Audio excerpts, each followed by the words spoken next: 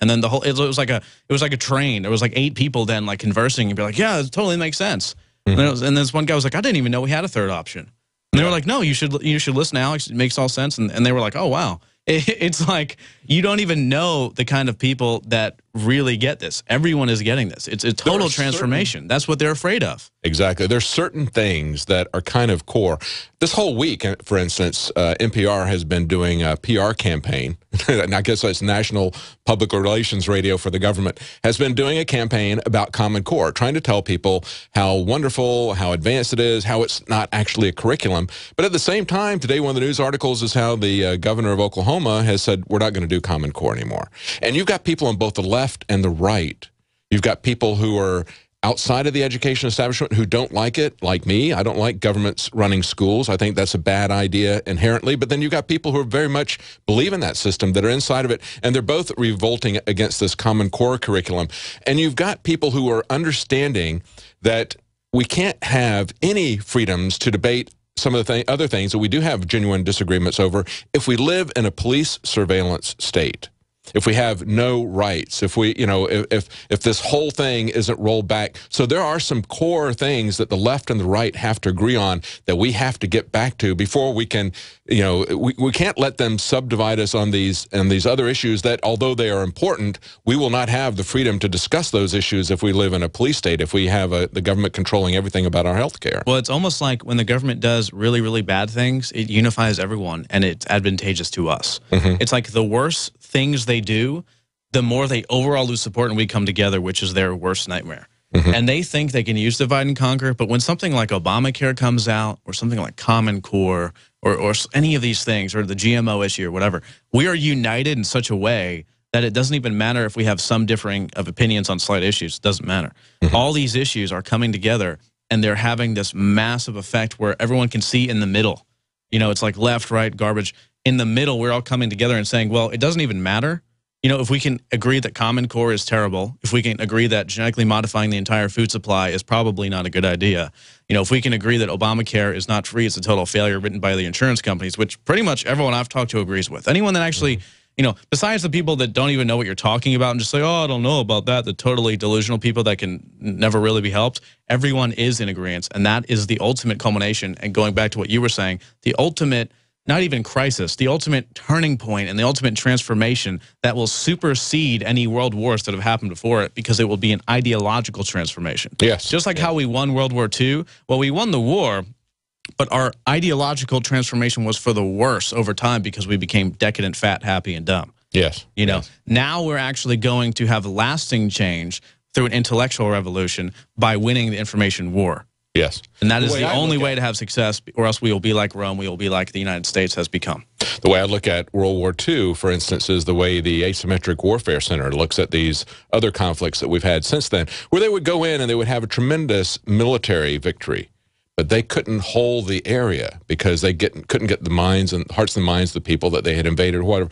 I think what happened was we won a physical war with World War II, but as far as the principles, as far as the ideas of eugenics, of total control, consolidation, and, and what the bankers were doing, essentially, we have lost that. And now that we're in an information age, hopefully, hopefully this information war will help us to prevail in the in the information age. And hopefully we can do this as an information war. But the most important thing is who wins the hearts and minds of people. So regardless of whether there's a physical war or not, the info war is still going to be the ultimate high ground. And the way to, whether there's a victory. Absolutely. And the way to do that is to get out there to spread the information and also support key operations like InfoWars. And that is why we have the InfoWars Life products like Survival Shield X2, the new almost double strength survival shield, which is the same price as the old survival shield. We kept the same price. We enhanced the formula. We're going to talk to Dr. Group specifically, not on that, just health issues, but he can explain 7,000 to 10,000 feet below the Earth's surface, we take it from a salt solution that is around 200 million years old and take the super fine purple iodine crystals from that and create Survival Shield X2. And that is below Fukushima's devastating effects. That is, we are testing all of it for radiation before we get it out. And it is on sale right now for the same price as Survival Shield. Almost double strength at InfoWarsLife.com. You're supporting the operation. You're supporting all of this and getting the word out and helping people, even the trendies, wake up. That's great. And we're going to be talking to Dr. Group as soon as we come back. Stay with us.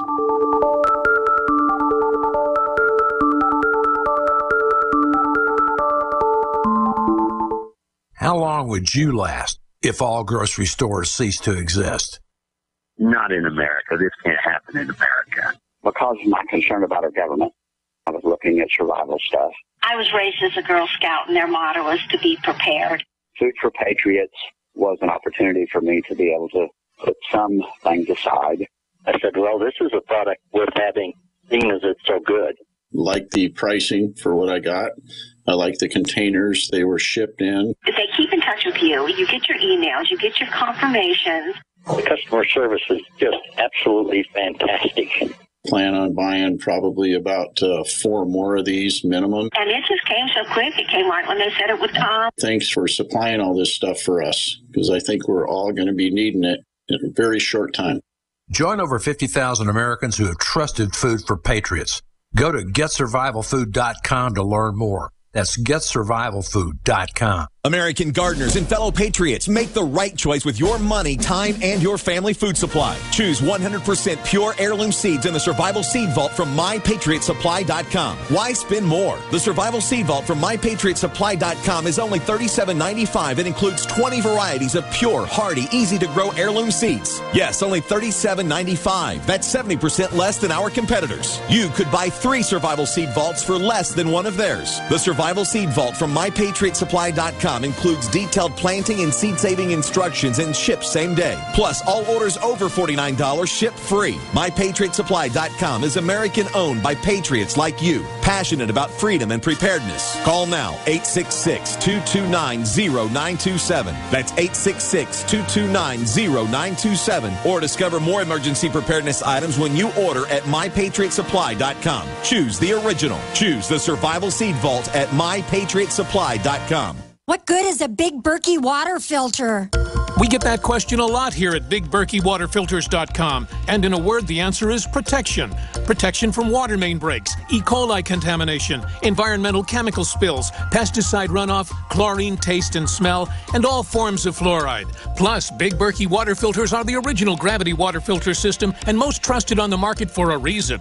Tested by multiple independent NSF EPA certified labs, they are the gold standard in water purification. At only 1.7 cents a gallon, a single set of filters can last for 5 to 10 years. That means big savings. Big Berkey, the one that's powerful enough to purify stagnant pond water. Get a Big Berkey today at BigBerkeyWaterFilters.com. GCN listeners receive 5% off all ceramic filter systems. Visit our website or call 1 877 99 Berkey. That's 877 99 B E R K E Y. Big Berkey Water Filters for the love of clean water.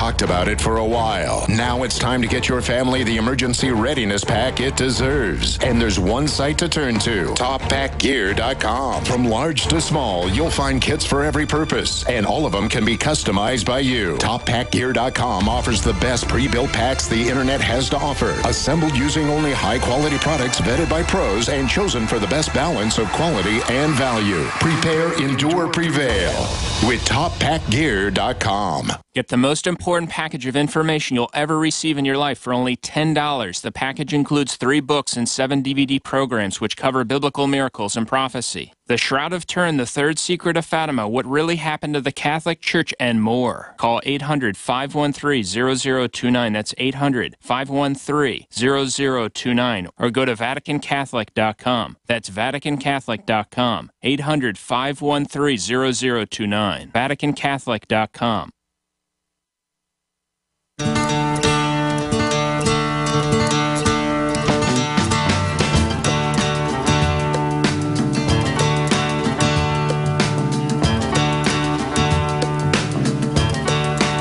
Welcome back to the Alex Jones Show. I'm David Knight. I'm joined in the studio with Anthony Gucciardi. We have Dr. Group on the line, and Alex is going to be joining us in just a second.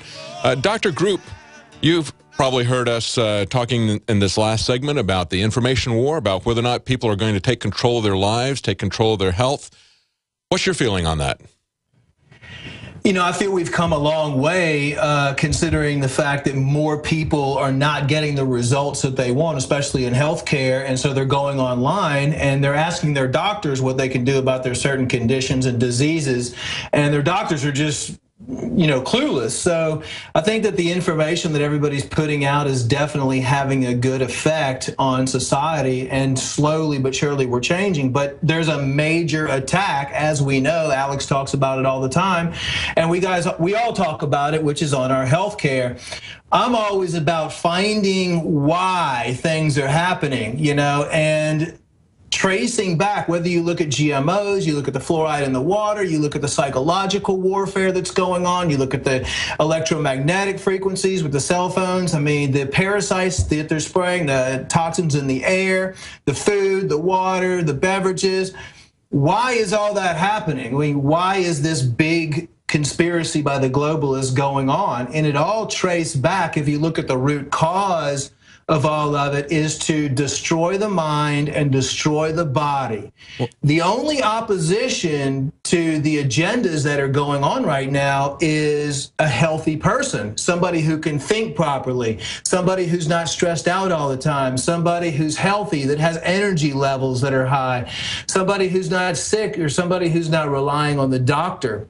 So what I've done is taken every single mentally abusing chemical out there or brain altering chemical, uh, found out where it's come where it comes from, as well as every single substance that causes disease out there, and traced it all back. So one of the solutions is when people take the step to learn about all these things in their environment, whether it's coming in, wherever it's coming into their body from, and make changes in their life. I mean, because the stronger our mental capacity is, the stronger our body is, that's what they're really, really scared of. Because every single, if you look at the spoke and hub model, and you have a body in the hub, a perfect healthy body that can think and that can function and then you look at all the spikes or, or all the spokes of, uh, around it and fluoride is coming at you from one spoke and chemtrails are coming at you from another and the chemicals and heavy metals are all coming at you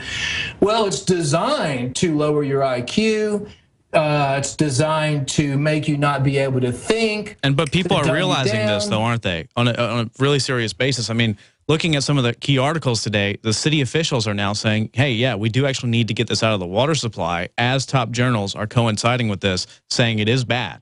So the key thing is we can take our health into our own hands and succeed, but on a global level, people are waking up to this because it's so in your face and so evil. I mean, don't you find that as well? Absolutely. I mean, I, I, do find that. And even some congressmen and senators and stuff are contacting us wanting to know more about more information about fluoride or more information about some of these other things. But so let's say you have all these chemicals that they're using in this psychological warfare. I mean, with that 17 year old girl, you know, the mom and then having doctors do private conversations that ties into the whole creation of the psychological warfare and the psychotropic drugs, which you talked about earlier, of having children diagnosed with some form of mental illness from the time they're young. From the time there's five year olds that are committing suicide because of psychotropic drugs right now. They're setting this up to where if they ask these young children, do you have any depression? Do you have any anxiety or anything like that? They can be labeled with a mental illness from the time that they're at an early age. If you're labeled as a mental illness, the government automatically has control over you. They can throw you in jail, they can throw you in a mental institution, they can do whatever they want with you.